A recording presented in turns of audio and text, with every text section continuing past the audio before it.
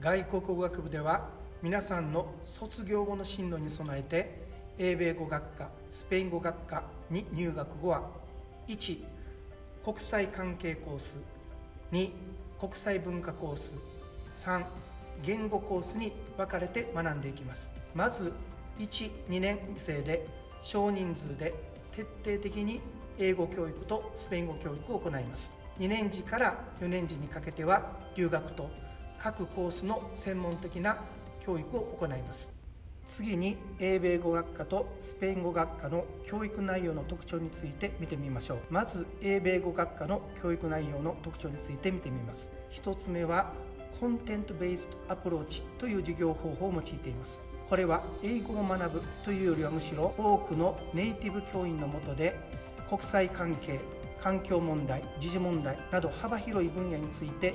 英語で学んでいくことに焦点が置かれています。次にスーパー IS プログラムがあります。これは海外提携大学との共同開発プログラムです。ぜひこのプログラムに申し込んでください。このプログラムを受けることで TOEFL の点数が飛躍的に向上し留学に結びつけることができます。とある学生は入学時に TOEFL の成績が440点でありましたがこのプログラム終了後には530点まで TOEFL のスコアがアップしました。続いてスペイン語学科の教育内容の特徴について見てみます。まず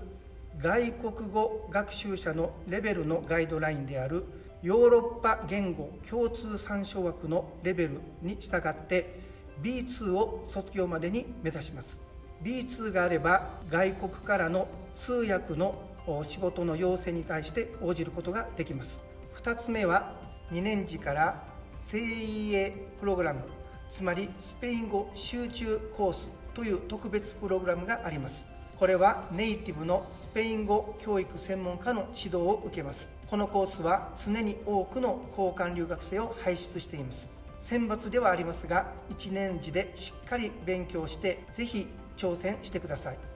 大学で学ぶというと何か難しい厳しいことのように聞こえるかもしれませんが大学で学ぶということにはその後一生付き合えるような先生や友達との出会いがあります。ぜひ関西外大に入学していただいて日本だけでなく世界のいろんな人と出会ってください。